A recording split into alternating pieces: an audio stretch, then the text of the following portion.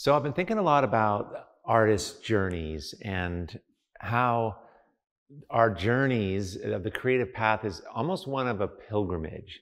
And I recently learned the difference between kind of a, just a regular journey and a pilgrimage. And the, the idea of a pilgrimage is that there's an expectation uh, that that that you will be you will learn important things th- from strangers, uh, chance encounters, and and I love that because that's certainly been the case for me um, over the years from the very beginning making art.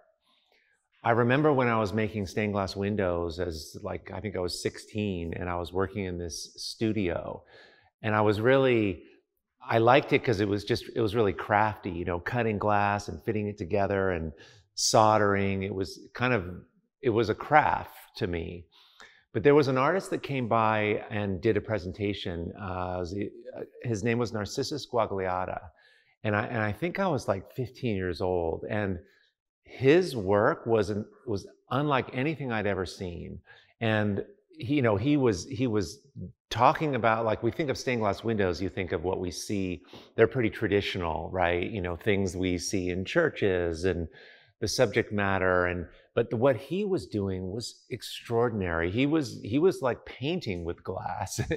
He was um, talking about soul and archetypes and and he did this really cool thing that i'd never seen done.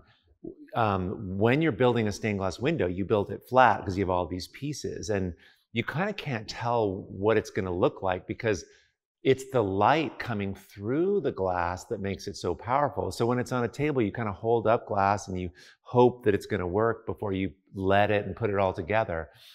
But what he had was this easel that was um, this big, huge, like glass or plexiglass that came up like a glass door. And he would take the pieces of glass and he would he would um, use beeswax and he would paint with it like he was painting before it was all put together. And that was just that got me thinking about the fact that you know i might be making this little window but it's really a painting that it really you know and, and seeing it vertically and moving things around. It was like the first time that i i kind of got a glimpse into into taking this whole thing further. This craft could be something so personal. So anyway i just um i i recently looked him up and he's full on, man. He's been, he's done churches and he teaches workshops and it was just so interesting, you know, and I, I couldn't remember his name even. Um, but I was thinking about stained glass and I was like, who was that guy? And I knew his name. I remember his first name was Narcissus. So it led me back. And uh, these are the kind of people that, that you meet that change everything for you. So I'm curious, right? Like who who have been the people you've met that have changed so much about your creative path and where you've ended up? I think it's really really interesting and and powerful and also really cool just to like consider it and think back how you he- or where you are now. Um, so let me know in the comments or let us know in the comments.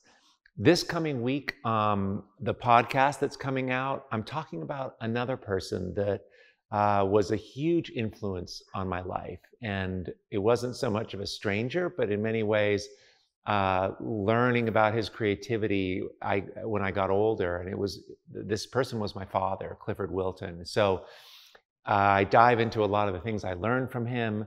Uh, it's it's pretty cool. So check that out. That's coming out on Wednesday. Anyway, I hope hope your day is going really really good, and you're in the studio at least some of the day, some part of the day. Okay, thanks so much. All right. Hey everyone, if you found this helpful, I have a whole lot more to teach, share, and inspire you with every single week. So join the Art2Life YouTube channel by clicking the subscribe button below.